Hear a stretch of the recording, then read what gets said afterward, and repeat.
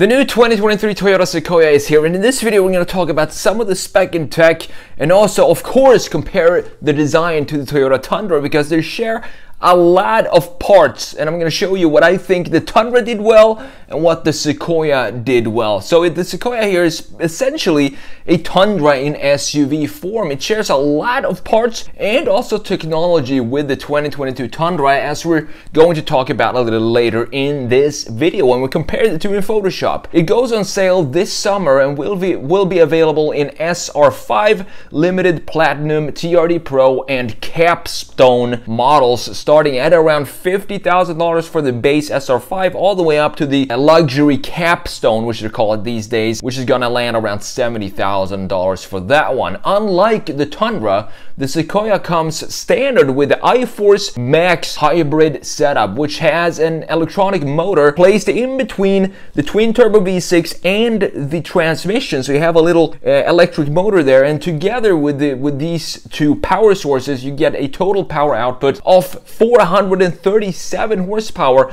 and 583 pound-feet of torque. So it is kind of a beastly machine, this new Sequoia. It also shares the platform with the Tundra, of course, and the Land Cruiser and the Lexus LX. However, it's cut shorter here in the SUV form compared to the Toyota Tundra.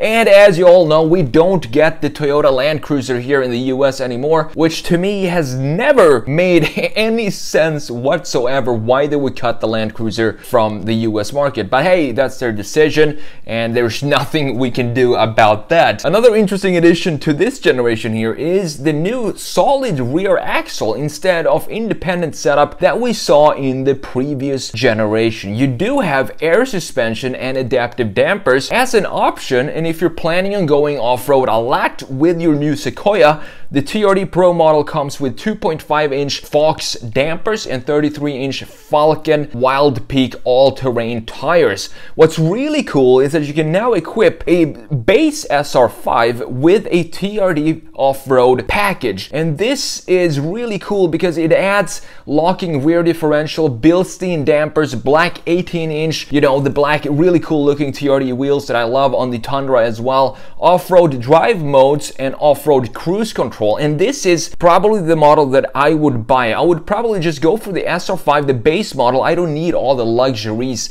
that comes with the capstone model, for example. And then just add whatever, uh, uh since I think I would want to have a little bit more of an off-road capable Sequoia than the base SR5, I can just add the TRD off-road package onto the base SR5 and I have a very capable big SUV. The inside is, as expected, very similar to the interior interior of the Tundra. Of course, we're gonna show, I'm gonna show you that, compare the two interiors. We're gonna see if we can find five differences between the two interiors because they're very, very similar. You'll have you, an 8-inch touchscreen as standard in the Sequoia on the SR5 model with the full 14-inch touchscreen, of course, available as an option. You also have a 12.3-inch digital gauge cluster and wireless Apple CarPlay and Android Auto capability as standard. So now let's go into Photoshop here. Let's have a look at these designs. Let's start with the most boring view of these two uh, trucks and SUVs. So we have the rear view. It's boring. Actually, it's not that, that boring now when I think about it because the new Tundra looks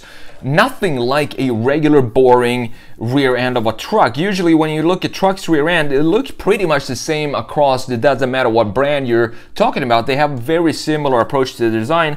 But now actually when I think about it, the Tundra has a very interesting design here and unique approach to specifically, as we talked about before, the bumper here, which is not a third-party bumper that uh, Toyota kind of outsourced the bumper. They designed this bumper themselves and they integrated it into the overall design language of the truck. If you look at trucks, this is the first time I've seen a full-size truck having this treatment on the rear bumper, which is pretty cool.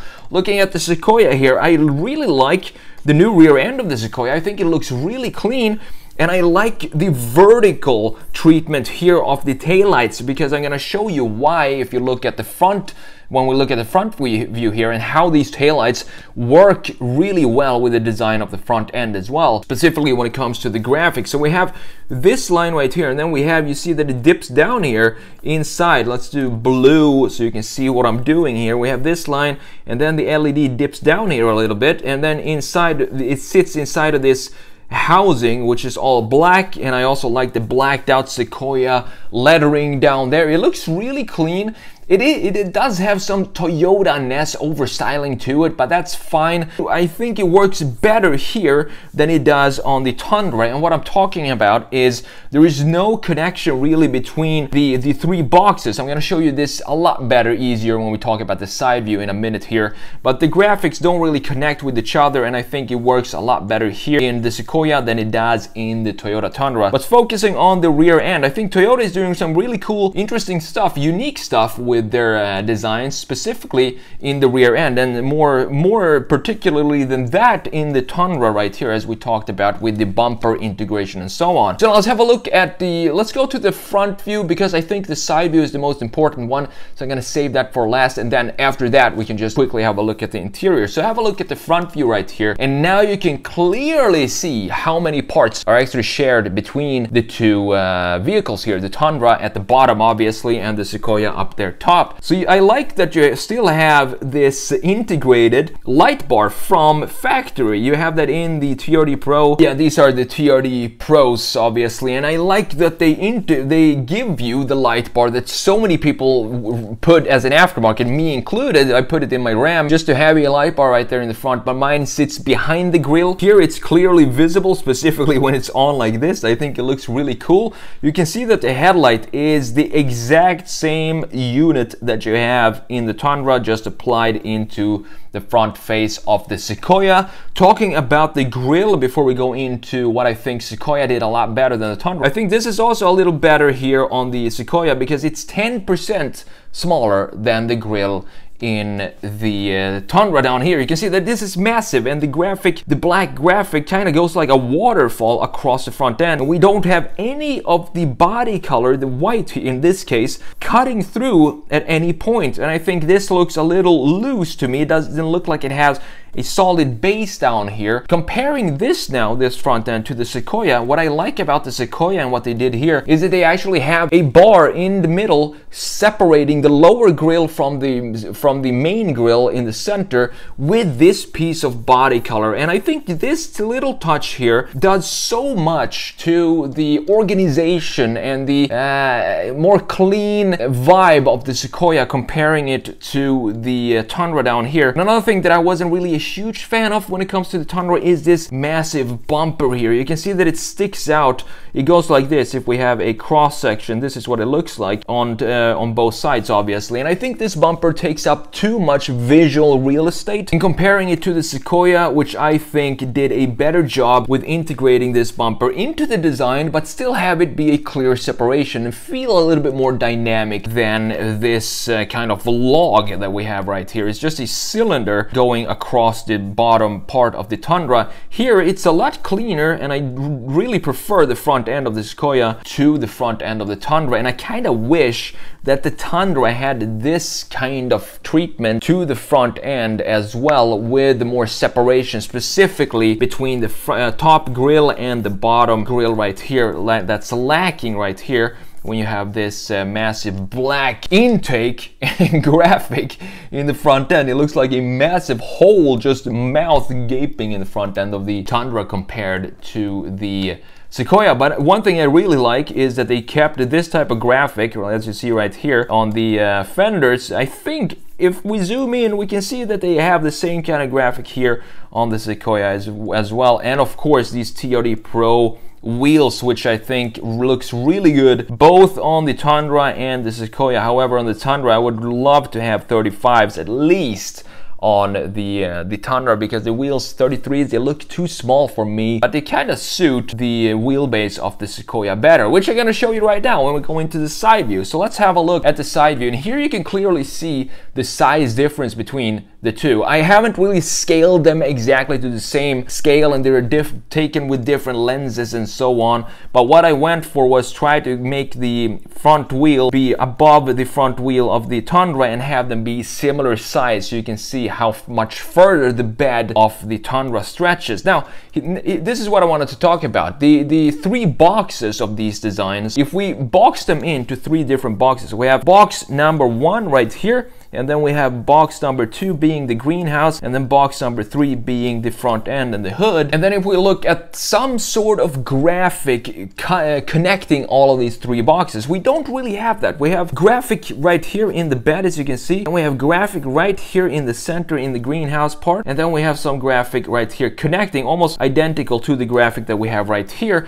which I think makes it look it kind of suits the truck because a truck really doesn't need to have a nice nice line flow and so on because it's such a utilitarian design. That line flow comes uh, secondary, I guess, but you can still have it when we see it in Fords and we see it in Rams as well. But Toyota decided to go in a different uh, path here and separate these three boxes even more with having separate graphics that don't they don't really cut into each other's boxes, if that makes sense, which makes it look very uh, separated, this design. And I think it works better for some reason. I'm not really sure, but I think it works better in the Sequoia. But we do have this design now stretching a little further forward, as you can see right here. If we box this in at the same position that we boxed in the Tundra, you can see now that some of the graphics are stretching, looks like they're stretching further back and kind of uh, goes a little bit into the middle box here and connected more than we have on the Tundra. And also that this part is almost like a box itself connects the whole Sequoia design better than I think it does on the Toyota Tundra even though the Tundra I think looks cool. I've seen it now in uh, in a lot of different uh, variations. And if you put some 35 inch tires on there it looks really really good with some more aggressive tread than we have right here then it really takes the Tundra to a another level in my opinion just having the right type of wheels and tires on the truck. But as you can see, these are the same size here, and I think 33s look a lot better on the Sequoia. It feels like the right size for the Sequoia, but on, if you look at it on the Tundra, it feels a little too small for me. Now, last but not least, let's have a look at the interior and compare the two. I'm gonna let you have a look at this and see if you can see what changes are, if there were the, the kind of five differences between the Sequoia and the Tundra, and I can show you a couple of them that I see. We have on the Tundra right right here. We have this uh, separation between the top part of the of uh, this uh, side of the dash and we don't really have that on the Sequoia right here. And of course you have the traditional stamped Toyota up here which I do prefer from this having the name the model name Tundra in the lower part right here. I rather have this big Toyota stamped or embossed into that piece. I think it looks really cool. It looks kind of old, old school. And I also like it when they have that type of graphics in the front end which I think yeah they do here on both the Sequoia and the Tundra as you can see right here. It looks really cool, but still there are two different treatments of that specific area right here between the two models. The rest is pretty much the same. We have the same kind of uh, air out air uh, vents and we have the same treatment in the middle. This is, I believe, the 14 inch, the big one screen in the center and digital dash. I think this is has just has to do with equipment level. It seems like it's a little bit more analog right here. The gauge cluster than it is in the Sequoia and this of course depends on what trim level you choose as, as well as these uh, my, uh, speakers right here in the A-pillar are lacking on the Tundra. I think that as well has to do with trim levels. Other than that, it looks pretty identical in my opinion. I can't really see a lot of differences. I do love this TRD wheel here. I think it looks really cool, specifically with this mark red marker up here to uh, mark center of the wheels. Overall, a pretty cool design by Toyota, this new Sequoia here. I'm a, I'm a fan, I think it looks cool. It still has this Toyota styling, which I said is a little overstyled, but it's what they do. It's what Toyota do. I think they've stepped up their design lately like a lot of different brands has done in the last five years or so. And they're starting to get their DNA back. I think Toyota has been lacking in the DNA department for quite some time. But as you can see right here, this is a clear uh, DNA with the same the, that these are there's no doubt that these two are in the same family by just looking at the graphics and the proportions and the styling of these two vehicles. However, I'm still a little bummed that Toyota decided to ditch the Land Cruiser, the legendary Land Cruiser for the American market.